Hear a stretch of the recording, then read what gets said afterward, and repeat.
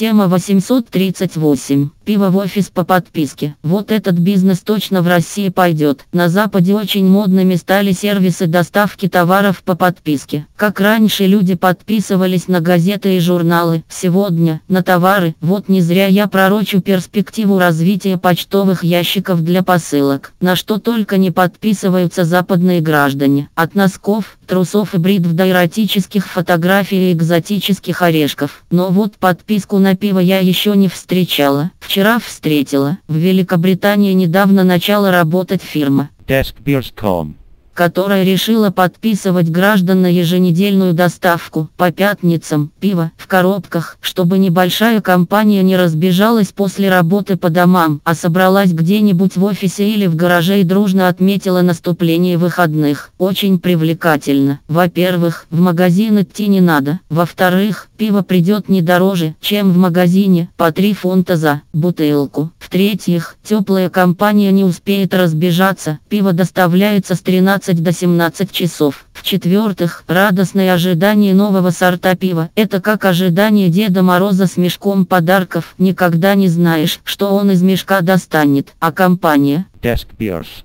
она и называется как пиво на стол, обещает доставлять пиво только из небольших местных пивоваренных компаний, сваренное почти вручную, с большой любовью к алкоголикам-потребителям. Пиво доставляется сразу коробками, что упрощает процесс доставки и снижает ее цену, и только одного сорта, каждую неделю доставляется пиво какой-то одной местной пивоварни. Подписаться можно на доставку один раз в неделю, один раз в две недели, один раз в четыре недели или просто заказать разовую доставку пива, без подписки. Сегодня компания, находящаяся в Лондоне, обеспечивает пивом весь Лондон и весь Великобританский остров. В ее планах распространить влияние и на другие регионы. Также в ее планах расширение времени доставки, не только по пятницам, но и в другие дни. И хотя я не приверженец пива и алкоголизации населения, но идея мне показалась интересной следующими моментами. One. Впервые я встречаю вариант подписки для компании людей, а не для отдельного человека. Компания – это более устойчивая единица общества. Человек может передумать, а компания передумывает редко. К тому же ей одной товара нужно больше, то есть заказ у компании будет более большой. Two. Компания по доставке пива привлекла в качестве поставщиков местных производителей пива, то есть играет на руку развитию местного производства. К тому же местные пивовары очень заинтересованы в бесплатном пиаре своей продукции, своего бренда, поэтому будут готовы поставлять пиво с большими скидками. Плюс к этому две компании по доставке и по производству работают без посредников, что выгодно для всех, в том числе и для потребителей. Three.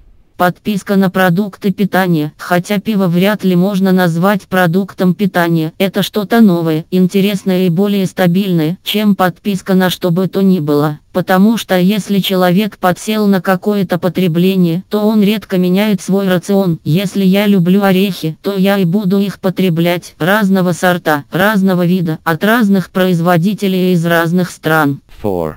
Что-то часто в последнее время я встречаю бизнесы, связанные с производством пива. В одном отчете я встретила цифру, что производство пива в Великобритании увеличилось за 2014 год на 79 по отношению к 2013 году. Судя по всему, не только в Великобритании, потому что в Канаде тоже появляются местные пивоварни в большом количестве. В том числе благодаря тому, что организации стали лояльнее относиться к потреблению потреблению пива непосредственно в офисе. Может быть, пивоварение – это перспективный бизнес и для России. Судя по недовольству российских граждан пивом, продаваемым в супермаркетах, это так и есть. Не знаете, на чем делать бизнес в России? Варите пиво? Клиенты точно будут, если не в офисах, так в гаражах и квартирах. Поэтому путь открыт. Если вы хотите заняться аналогичной подпиской на пиво, домашнее варенье, копченые колбаски, сало, пельмени от местных производителей. С местными производителями и договориться легче. Избыт им нужен как воздух. И людей порадуйте едой, приготовленной вручную и с любовью, а не бездушным промышленным способом.